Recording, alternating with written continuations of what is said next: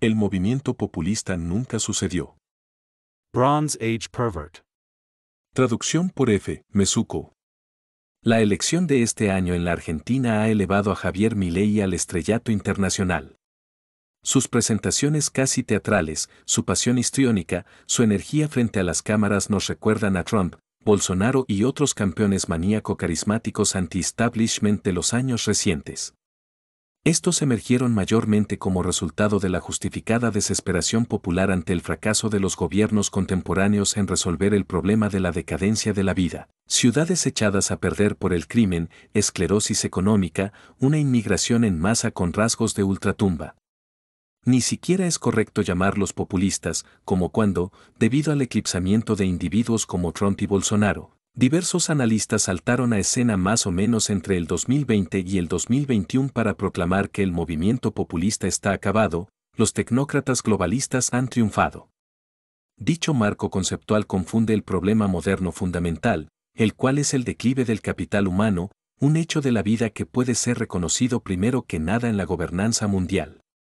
En algunos países fue posible etiquetar a los críticos de los gobiernos retardados como populistas, pero esto no fue así en todos lados e incluso en Brasil, Bolsonaro no fue electo por el voto de los pobres y de los muchos, sino a hombros de una campaña en contra de los demagogos rojos de izquierda que habían llevado a la economía y la vida de los brasileños hasta el borde del abismo, y en representación de los campesinos de buen pasar y de la pequeña burguesía.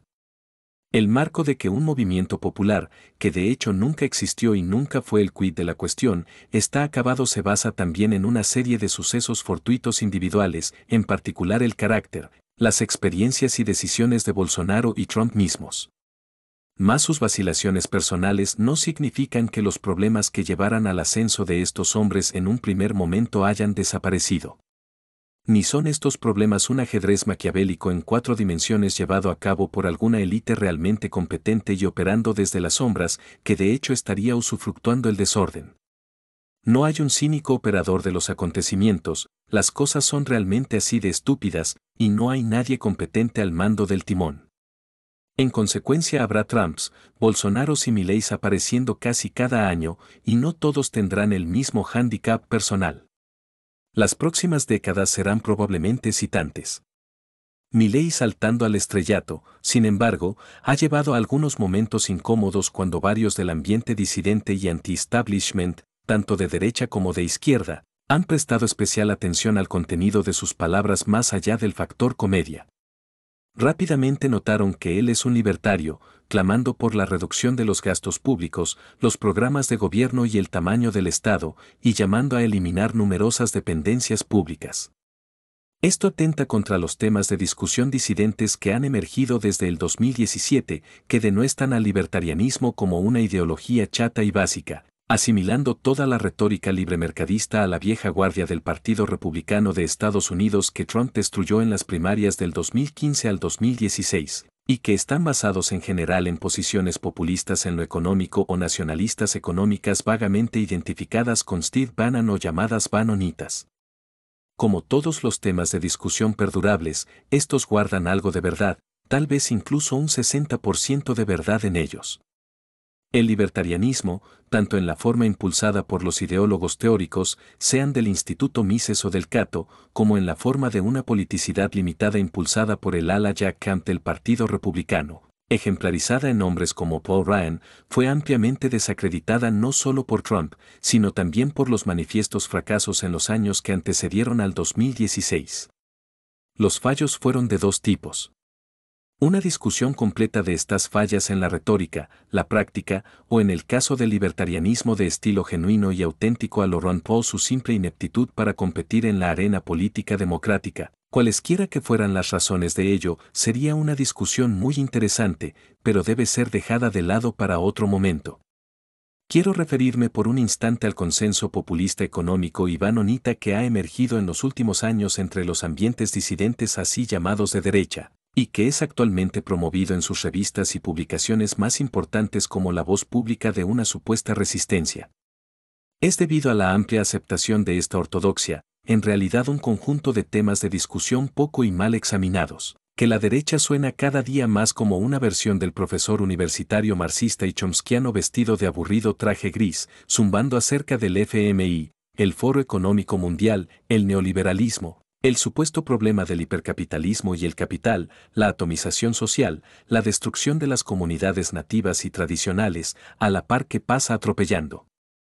Con una especie de temblor engreído y grandilocuente en pos de un compromiso con el socialismo, un análisis de clase, una democracia de la clase trabajadora postracial multirracial, cual si estas fueran las ideas más novedosas y revolucionarias.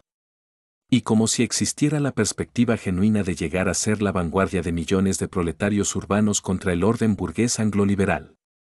Podría ser mala idea tomar como válida la palabra de Paul Ryan cuando dice de si representar el libre mercado, el libertarianismo o la libre empresa, como podría ser también mala idea el creer que Jonah Goldberg del Goucher College está en lo correcto con su definición de socialismo. Pero de nuevo, esta es una discusión para otro momento. Este tipo de personas estuvieron en el poder en la Argentina durante décadas y no han provisto lo que uno pensaría que el pueblo anhela que le provea el gobierno, basados en la expresión del interés directo de las masas durante los años 2015 y 2016 y antes de que los intelectuales y expertos comenzaran con su campaña de ofuscación. La Argentina ha tenido gobiernos banonitas y nacionalpopulistas en lo económico por décadas y elevados al cuadrado los argentinos obtuvieron un 100% de lo que los Banen y los socialistas conservadores, la derecha disidente, alternativa o cualquiera sea el epíteto de moda con que se designen a sí mismos, todo lo que estos están ahora demandando, todo lo que está siendo exigido, y mucho más. Por décadas esta ha sido la situación en la Argentina. Todo en la retórica, pero también en las prácticas políticas, impuestas a punta de pistola las más de las veces. Perón aplastó completamente a las clases altas terratenientes y trajo consigo una economía nacional populista, rompiendo en particular con la intromisión de los ingleses y a menudo invocando un lenguaje comunitario tradicionalista y los valores familiares. Si se quiere socialismo conservador, hete aquí su ejemplo en acción, a pleno, y ved luego sus frutos aportados tras el correr de las décadas. Considérese por ejemplo que las puertas de la Argentina han sido abiertas hasta saltar los goznes a la migración masiva descontrolada. Esto ha sido realizado a pesar del lenguaje nacionalista y populista económico que los banonitas invocan en los Estados Unidos y que los peronistas han usado aún más agresivamente en la Argentina. Encuentro fascinante, por cierto, que todas las regiones y naciones con sistemas semejantes de izquierda populista o de izquierda en lo económico comparten los mismos resultados. Así en Irlanda, así en el País Vasco en España, donde la ETA constituye el espíritu de tal región y que junto a los kurdos del PKK conforman las facciones más leales a la internacional de izquierdas nacionales. Muy nacionales, pero todas ellas están inundadas de inmigrantes. El investigar acerca de las razones del por qué suceda esto, lo dejaré nuevamente para otro momento, más sospecho que, si bien cuando están fuera del poder dichos partidos insinúan que los inmigrantes son dejados entrar como mano de obra barata por una conjura del gran capital o por perversos y taimados capitalistas que planean construir alguna estación orbital para ellos al estilo de la película Elysium. Y entonces ellos prometen, tal vez honestamente, a las clases media y media baja el que detendrán esta inmigración y mejorarán el mercado de trabajo, los salarios y sus condiciones económicas. Más una vez en el poder, los partidos de izquierda populista descubren que los inmigrantes nunca fueron traídos por los capitalistas con razones maquiavélicas, que a lo sumo, los capitalistas habían sido sobornados, y no todos los capitalistas sino solo algunas industrias a las que se les permitió sacar tajada y que por ello acataron, aunque no queda claro si su voluntad de obedecer o no habría sido relevante en absoluto descubren que los inmigrantes han sido traídos principalmente como clientela política y herramientas políticas para la izquierda, traídos por aquellos que se enfrentan a los ricos, nebulosa definición siempre cambiante que a menudo incluye también a la mayoría de la clase media. Y entonces la lógica de esto es irresistible para los partidos populistas en lo económico una vez instalados estos en el poder por algún tiempo, sin importar la retórica inicial acerca de la pauperización del proletariado finalmente llevada a cabo por medio de la inmigración masiva. Si nuestra postura es la de los muchos pobres y conservadores contra la decadente y depredadora élite y los ricos, ¿por qué no llegaríamos a ver a los millones de pobres extranjeros con valores familiares y decentes como nuestros aliados? Los populistas en lo económico, incluso cuando expresen abiertamente retóricas nacionalistas y étnicas en sus comienzos, las abandonarán siempre a estas en favor de importar nuevos clientes y les es racional el hacerlo. En muchos casos, por cierto, no tienen ni siquiera un lenguaje específicamente etnocultural, nacional o racial distintivos. Muchos de la derecha son tontamente llevados de las narices cuando alguien de izquierda empieza a embaucarlos con su relato contra el globalismo, el FMI, el angloliberalismo internacional, las élites transnacionales y tales cosas, pensando que tal personaje debe sin duda querer preservar las características demográficas y culturales de su región o país en particular. Pero esto no es casi nunca el caso, la importación de millones de paraguayos, peruanos y bolivianos en la Argentina, o los inmigrantes en el País Vasco o Irlanda podrían en realidad llegar a ser vistos como si, Estamos importando gente de buenos valores familiares que se alzarán a nuestro lado en solidaridad con los nativos y en contra del globalismo, el capital y la atomización neoliberal. Y esto es de hecho lo que sucede.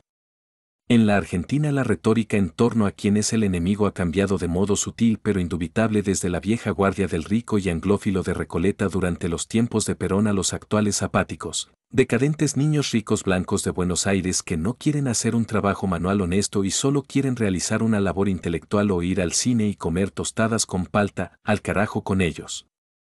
Yo soy un orgulloso hombre sindicalizado y el Pachamamero de Bolivia es mi aliado contra estas élites.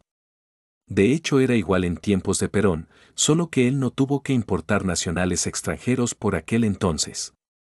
Como otros populistas sudamericanos trajo no europeos, clase trabajadora, gente que era la sal de la tierra de las provincias, comprando sus votos con hospitales, bienes materiales, servicios. Y logró que ellos fueran sus clientes políticos en contra del rico terrateniente de la vieja guardia de Bramines. Es la historia de Franklin de Roosevelt bajo otros ropajes y la historia de la senectud y muerte de las naciones modernas en general bajo las diversas formas de la mafiocracia o democracia de masas. Debe agregarse también que fue durante el régimen de economía populista de la clase trabajadora de los que son la sal de la tierra bajo el peronismo socialista conservador que la Argentina devino una de las primeras naciones en el orbe en legalizar el matrimonio homosexual pero tal como en materia de identidad nacional, también la moralidad colectivista conservadora y religiosa, o el moralismo en política, y la retórica de tales partidos significa una cosa en sus orígenes, y otra enteramente diferente luego. Al final es siempre la misma izquierda, que nos ha dado vueltas alrededor durante décadas y con los mismos resultados, los cambios solo son cosméticos. El tema de cómo el populismo económico y la izquierda siempre traicionan al nacionalismo real es muy interesante y debe ser explorada en detalle, pero su fracaso en cumplir en concreto con sus promesas económicas es la gran razón real detrás del ascenso de Milei hoy en la Argentina. Décadas de obtener todo lo que el ambiente político disidente norteamericano está demandando hoy ha dejado a la Argentina compitiendo contra Venezuela cuando debería estar compitiendo contra los Estados Unidos, dados sus talentos naturales y su capital humano. No hay mejor ejemplo en el mundo moderno en el cual un mal gobierno y una mala cultura en concreto han destrozado tanto un país, que de otra manera posee tanto los recursos naturales como el capital biológico humano para no solo ser bello sino realmente grandioso. A diferencia del este de Europa u otras partes de Europa, la Argentina no tiene excusas, no sufre hoy ocupaciones de Rusia o de otro atacante, ni siquiera hay guerras, ni desastres naturales. Clima paradisíaco y aislamiento, clima templado, libre de las pestes. Una población inteligente, altamente letrada y culta. Todo arruinado por malas decisiones políticas, una cultura política terrible y tal vez malos elementos de la cultura en general. Y todo devastado por el populismo económico que conlleva impuestos aplastantes, regulaciones en nombre de la justicia social que destruyen cualquier intento de empresa, y que a la postre conduce realmente a la esclavización de la parte buena, inteligente y talentosa de la población y su transformación en una unidad servil para la provisión de bienes a los muchos tontos, morenos y estupidizados, de modo tal que esos muchos puedan votar por políticos miserables que invocan para sí un lenguaje sindical santurrón y engreído. Es así de simple. La izquierda está en lo correcto en que el libertarianismo en la Argentina sería una supremacía blanca de facto. de hecho están en lo correcto sobre esto también en los Estados Unidos, excepto que el conjunto de expertos de la derecha disidente se ha convencido a sí mismo de que la clase trabajadora blanca, que ya está en la actualidad altamente grabada por impuestos a nivel local, se beneficiaría no por una eliminación de las desventajas legales raciales en contra de ellos y sus hijos, así como de una baja de sus impuestos. Eso sería neoliberalismo, libertarianismo, sino a través del socialismo. Populista conservador, esto es, esquilmándoles más impuestos a ellos y luego canalizándolos de vuelta bajo la forma de créditos y servicios tras haber sido previamente filtrados y lavados por las manos de numerosos empleados del gobierno. ¿Quiénes son estos empleados? Pues, nadie de la alt ni de la alt banonita, ni gente del conjunto de expertos socialistas conservadores disidentes, dado que ninguno de ellos ha logrado entrar a la burocracia gubernamental, sino las Jennys y los Bryans capaz prohibir la pornografía sirva de algo. Pero es tan trillado invocar la libertad. No quieren terminar siendo vistos como un Paul Ryan, ¿no? La esquina en donde se arrinconaron a sí mismas las facciones anti-establishment, especialmente las de Francia y Norteamérica, aunque también de otras partes de Europa, es el rincón desde el cual, luego de unos pocos años de intercambiar mensajes simplistas a través de un juego idiotizado del teléfono descompuesto, se han vuelto incapaces de ver la realidad desnuda al menos en lo que atañe a la Argentina, y son incapaces de ver el por qué alguien como Milei está en ascenso allí no a pesar de, sino gracias a su retórica y promesas de libertad, esto podría ser difícil de superar en los años venideros. Es la retórica de perdedores la que obscurece la realidad de la vida altamente regulada, asfixiantemente controlada en Norteamérica y Occidente debajo de absurdos eslogans tales como el hipercapitalismo y la atomización, y que asumen erróneamente que la juventud europea, o francamente cualquier otra clase de juventud talentosa, precisan de la ayuda y protección del gobierno más que necesitar que el gobierno les quite la bota de encima de sus cabezas. Es más fácil ver esto en otro país y en otro mundo, donde tal vez los temas en discusión no han meticulosamente encubierto todavía la realidad que hay delante de nuestros propios ojos. He aquí someramente, de mi experiencia en la Argentina, algunas cosas que recuerdo vívidamente, una empresaria de origen croata nacida en la Argentina, dueña de una confitería con un café inusualmente delicioso y facturas de los Balcanes, quien, una mañana llevada por la conversación, estalló en lágrimas ante mis ojos por el prospecto que deparaba el futuro a sus nietos en la Argentina. Todos ellos inteligentes, altamente educados, trabajando en profesiones liberales y absolutamente todos ellos exprimidos hasta el tuétano por un gobierno que les extraía la mayor parte del ingreso mientras los sermoneaba duramente por su identidad y deseos individualistas atomizados, y les recordaba su obligación de dar a la sociedad y la comunidad, que se espera por razones morales, sea a su parte marrona. Todos ellos detentaban un estilo de vida y unos recursos materiales que serían considerados como mucho como de clase media baja en Europa o Norteamérica, incluso ni eso todos empobrecidos por un gobierno que insiste que los trabajadores profesionales son chupasangres excesivamente pagos que se alimentan de la energía vital del trabajador que es la sal de la tierra. Cada persona inteligente que busca o quiere un trabajo medianamente aceptable se queja por las mismas cosas en la Argentina, impuestos aplastantes, una sofocante falta de oportunidades y una altanera, movilizada en parte racialmente, clase trabajadora que es pagada mejor que ellos y a la que le es permitido actuar con una arrogancia sin límites. Los choferes de colectivos ganan el doble o el triple de lo que ganan los profesionales. El exprimirlos a fondo fiscalmente de todo su dinero se realiza en pos de una clase trabajadora multirracial, es decir, de la clase subalterna no blanca. Es en gran parte lo mismo en Norteamérica y cada vez más en Europa, sin importar la absurda retórica hipercapitalista. Lo real y concreto de la vida moderna actual para toda persona inteligente o ambiciosa es ser esquilmado hasta el hueso en nombre del ciclo. No puedo mencionar plenamente el ciclo en estas páginas, pero, sintéticamente, es ser exprimido hasta quedar seco para que una Jenny obesa pueda expirar alegremente en un hospital público tras los heroicos esfuerzos de médicos profesionales inevitablemente mal pagos, y luego de una vida completa engordando a base de snacks y comida chatarra. Este es el ciclo de la economía moderna. En la Argentina este ciclo se ha vuelto inexorable y omniabarcador. Los altísimos impuestos no proveen ningún servicio público de valor, ni una vida política o social comunitaria real, ni calles limpias. Hay villas y mini ciudades de casas de chapa y cartón con inmigrantes incluso en los barrios más pudientes de hoy. Reiteramos, de alguna manera las décadas de lenguaje moralista en torno al hombre trabajador y el populismo económico y en contra de las élites globalistas no han detenido ninguno de los males que los disidentes en Occidente achacan a algo denominado neoliberalismo, sino que los han exacerbado. Mi ley es el último de una larga serie de manotazos de ahogado y de intentos probablemente condenados al fracaso para detener esto, la lógica de la democracia. Es posible a veces que, bajo la lógica de la democracia de masas, el tomar de aquellos que trabajan y que poseen para darles a aquellos que no a cambio de sus votos, y si nos quedamos sin estos últimos, simplemente importarlos de cualquier lado bajo la cantinela humanitaria, esto sea detenido por algún tiempo. Bajo esta lógica las cosas llegan periódicamente a una tan mala situación que esporádicamente se forman diversas coaliciones y se puede llegar a elegir a alguien como Milei o, antes que él, un Macri. Pero estos hombres pronto descubren que para lograr sus objetivos son necesarias reformas tan extremas que tornarían inevitable una revolución o incluso una guerra civil. Por lo que se rinden y el proceso continúa hasta la próxima crisis. Pero esto no acaba ni puede acabar, hasta que se acaba con todo. Es fácil ver cómo terminaría un país como la Argentina, y probablemente lo está haciendo ahora, yendo a su descalabro total como nación.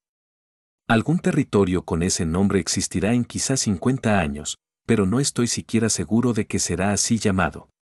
Podemos ver el resultado final de todo lo que he dicho, ninguna persona ambiciosa, inteligente, quiere ser esclavizada a este tipo de situación eternamente, motivo por el cual a donde sea que uno vaya, sea Costa Rica o España, u otras partes de Europa, vemos jóvenes argentinos que se han escapado.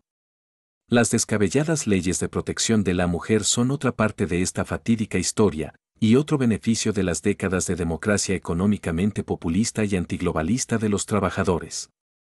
El denunciar al hombre es el derecho absoluto e inalienable de toda mujer, y sin el debido proceso ante la ley el hombre verá arrancados sus derechos y su vida destruida por cualquier denuncia, sin importar la frivolidad de estas o su falta de evidencias.